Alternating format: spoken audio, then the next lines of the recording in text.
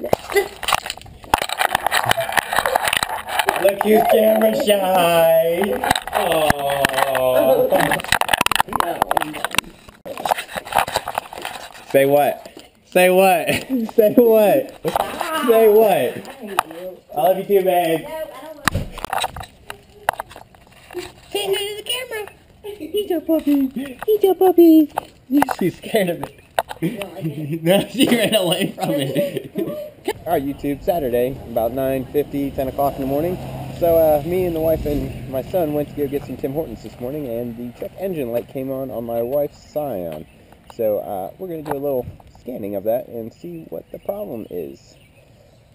I'm hoping it's just a gas cap. That's what it was last time. Uh, I have to say, there is a app called Torque, which is very handy because I have a uh, Bluetooth uh, OBD2 scanner. So it comes in handy when I'm trying to do these things. I don't have to have the old school scanner and just hook this thing in, connect by Bluetooth, and I'm good to go. Now, when I replaced it last time, I went to AutoZone and I got one of the uh, one of the gas caps they have, and honestly, it's kind of crap. It doesn't click right and stuff, but it, it, I mean, hers isn't like one that screws on with threads or anything. It's just got two little notches, going in a slot and then twisting it, and it's locked. Um, but I don't like the AutoZone one. It's it's really crap, and I want to replace it anyways. But we'll see what this says. All right, so it's throwing two codes, 441 and a 455. So this is incorrect purge system flow and uh, leak detected. So uh, the one is saying possibly the gas cap. So let's take a look. Gas yesterday, so it's a good possibility that something is not sealing right on the gas cap. Physically looks fine, so I'll probably just turn it back on, reset it, and see what happens. Alright YouTube, so now that I've gotten a few things done this morning, uh, I'm just going to slowly get started on this clutch swap. So, uh, so yeah, we're just going to kind of get the, the vehicle positioned and lifted up and everything. But, uh, but yeah, it's kind of a shitty day. It rained yesterday and it's all misty and foggy. Probably to rain today. Hopefully it warms up get a little sun. But uh, it is what it is. I'll probably be in the garage all day, so it really doesn't matter. I just hate when I have to shut the garage door while it rains and stuff because then it gets really hot and muggy. Alright YouTube, so I finally got the car jacked up and I finally got my romper on. You know, the only type men should wear because romper. But anyways, so I finally got the car jacked up. Going to uh, get started on this uh, transmission removal clutch swap. Uh, basically, you know, standard, you want to disconnect your negative battery cable to kill power to the vehicle, and then, you know, drive shaft's got to come out, uh, shifter's got to come out, all the electronics, sensors and clips and all that stuff. Um, you know, it's pretty standardized with any car, so, you know, yeah, basically I'm just going to start doing stuff, and uh, I'll let you just kind of tag along, and I'll try to move the camera around and see. Uh, I'm sure the lighting's going to suck at sometimes and everything, but I'll try to keep you included uh, as we move forward. All right, guys. What I'm trying to do now is remove the uh, exhaust because it looks like the drive shaft's going to be hard to get out with uh, the uh, kind of like an, it's like an X pipe. So it kind of crosses over. If there was a space between the two exhaust pipes, I could probably wiggle it out. But there's a heat shield there and everything. So it looks like the easiest way is just go ahead and remove the uh, axle back, or at least between the cats and the uh, the actual axle back. So the mid pipe.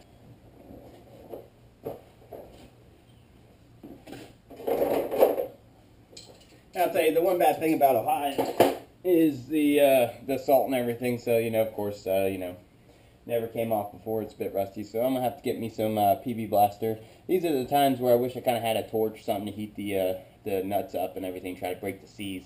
Uh, one of the things I need to get, but I do not have, so I'll be back.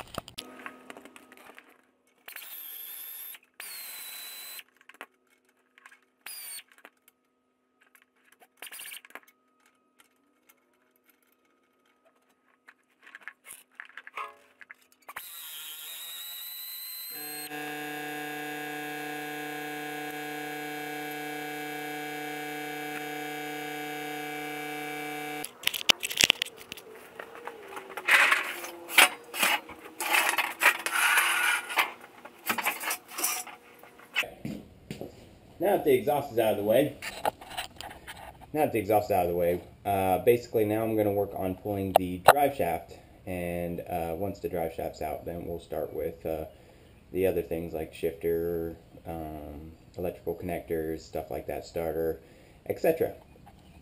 Stay tuned. We had a casualty! Oh no!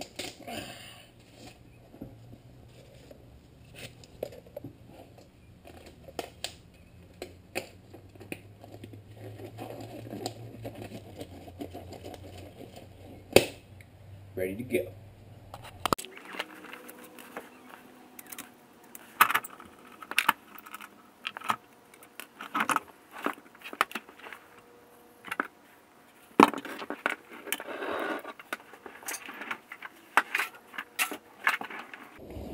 Alright, so now the drive shaft's out, and I got all the heat shields out and everything.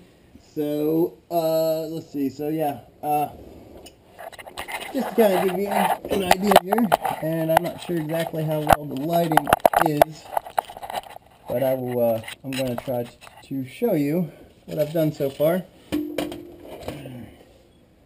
So, uh, back here, uh, these two 13 millimeter exhaust bolts had to come out.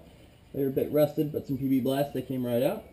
Um, let's see, so once the exhaust was removed, there's a couple hangers, and then the axle back uh, V-bands, those come off. Uh, there's a heat shield here, heat shield here, uh, and a little exhaust cross member, just kind of like a structural brace here. So that had to be removed, then the heat shield, uh, and then you have your carrier bearing, uh, 17 millimeter, uh, drive shaft 17 millimeter, once all that's removed, as you just saw, you just drop the rear and wiggle a little bit until it disconnects from the differential, and then just slide it right out of your output shaft. So up here's the shifter. Uh, I'll have to look, but I'm pretty sure you just pull this boot down or something, and there's a, a nut and bolt you remove from the actual shifter, and then everything else is done up top. Uh, moving forward, up here there is another suspension uh, brace which I removed already. Um, so, see if I can get some light over here.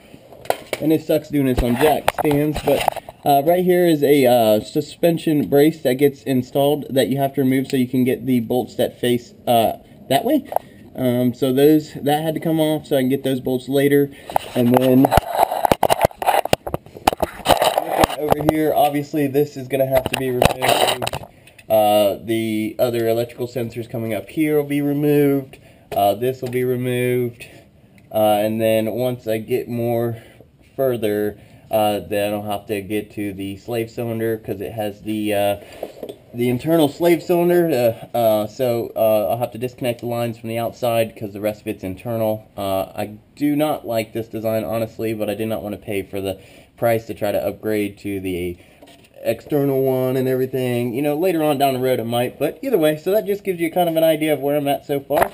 Uh, making pretty good progress, to be honest with you. Um, it probably took longer to jack the car up and get it on jack stands than it did to get to this point. But, uh, but yeah, this is why I need a lift, because this shit is getting old. Alright YouTube, so I'm trying to remove the shifter and uh, according to the factory service manual it says uh, put a wrench and cloth underneath, a wrench and cloth on the shift knob and turn. Well I tried that and it kind of started fucking up my shift knob. It don't seem like it wants to come off that way. I don't have a replacement so you know what, I'm just going to have to try to work around it. Alright YouTube, so after fighting with this thing for quite a while, I will say not getting the shift knob off made this extremely difficult. Also, the two bolts back here were extremely difficult to get to, be mainly because I had to have everything still attached. Uh, but I just got the last bolt off, and I think she should come right out. There she is. Now what I'm going to have to do is uh, figure out for reinstallation what I want to do because all this coming out at once it was a pain and I imagine putting it all back in at once is going to be a pain. Alright, so so now that the uh, shifter is out and everything, it's time to move back underneath the car and uh, we're going to start moving all the electrical wiring and everything and then the um, some of the bell housing bolts and cross member starter, stuff like that. Alright guys. Alright YouTube, so if you look right here, this is the sl slave cylinder line coming down, going in here, uh, to this is the tube that uh, goes to the slave cylinder. So what we got to do here is we got to pull this clip off. yeah, she's tight. Alright, so we get that clip off there. And we take our play wrench here, which looks like it's going to be a 10 millimeter. Get it on there. See if she cracks loose.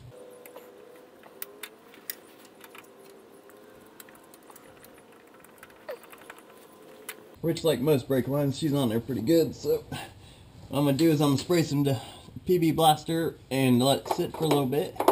And then uh, we'll come back. Well, YouTube, guess what? This thing's kicking my ass a little bit. Alright, so I was making good progress. Uh, got underneath, you know, showing you the uh, slave cylinder line and everything like that. I soaked it with PB Blaster, gave it a little bit. It came off, draining. So I was working on the exhaust bracket uh, that ties to the catalytic converters and uh, one of the nuts stripped and was rusted on there. So I ended up having to air chisel it off and then retap the stud and everything like that so I can put a new nut on it. And it's taken uh, quite a bit of time. Uh, but I got that done and so now I am going to uh, probably go ahead and rip all the wiring off and everything. Uh, I have my camera charging right now because I accidentally left it on while I was working and the battery kind of died.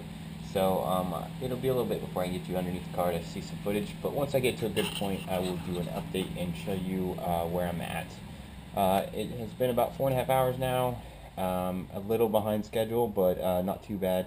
I got uh, the wiring harness, and then the starter, and then bell housing bolts, and trans mount, and it's ready to come out. So uh, I wanted to have it out by now, but shit happens. So whatever still going strong. So the goal is to at least have the transmission out today. Uh, right now it's probably like 3 o'clock or something. So uh, I still have plenty of time. Um, trying not to work all night, trying not to work until 9 o'clock, but uh, I at least want to try to get the transmission out.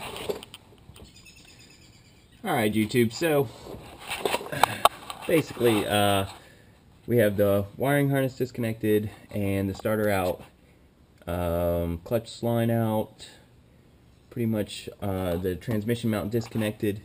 Uh, right now I'm working on the bell housing bolts, so I just want to give you a little shot of what everything is. Alright, so here's the wiring harness. I wrapped it up over here out of the way. Uh, it attaches here and up here and runs over here comes back here. It's a bunch of 10s and 14s.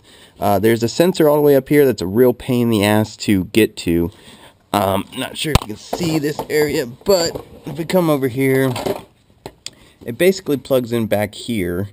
And I ended up having to lower the cross member to lower the transmission down to get my hand up in there to unplug it. Uh, and then I just jacked it back up and bolted it back up for now to keep it up there uh, until I get some of these bell housing bolts out and then I'm ready to more ready to pull it and I'll put my jack on there and lower it down a little bit and, to get the top bolts but uh, over here is the two starter bolts. They're 14s, uh, and one of the wiring harness comes up here and plugs into the starter. Um, this is where the whole clutch line and everything goes up to here. I removed the bracket and the whole metal line and everything there. Um, yeah, so this is basically where I'm at right now. Um, getting to the point of actually uh, pulling this behemoth. So, so yeah, that's the progress I've made so far. Uh, I think it's going fairly well. Had a couple trouble spots. Uh, right here you can see there's a bolt here and a bolt here and this is the one that gave me problems and I had to actually chisel the nut off and then retap it um, so I could get a new nut on there to put that bracket back on uh, but uh, you know it's kind of very similar to my S13 except there's more heat shields and just a little bit more random shit. But uh, pretty much everything has just been very similar to pulling any Nissan transmission.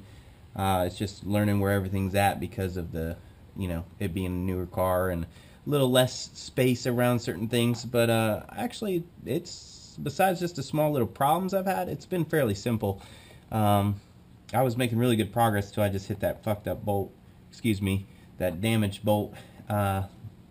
And had to work on that for a good hour or so to get that thing out. But I was able to get it out without damaging or um, messing up this stud too bad to where I would have had a problem reattaching this bracket uh, because if I would have messed it up that bad to where I would have had to cut it or something, uh, the bracket would have been bolted there, bolted there, and then not bolted here, and it probably would have rattled really bad. And there's a metal ting uh, that bends over here that's really thick. Um, it's probably a quarter inch thick, so it would have been really fun to try to pry that out to get this whole block that uh, that the stud comes through to get it out to try to put a bolt in there um, and a nut. And the problem would have been I would have had to bend it perfectly straight so I could have got a socket on the back of it. So I really was trying to save this uh, so I wouldn't have to deal with that. Uh, so I think it worked out pretty good. Um, you know obviously I plan on upgrading the catalytic converters eventually uh, either with some high flows or something so I'm not really too worried about it. I just didn't want to deal with the rattle of that bracket not being attached. Uh, but yeah so that's pretty much the update right now. I'm gonna keep pressing forward and uh, try to get this thing out and then I'll bring you back. So yeah stay tuned.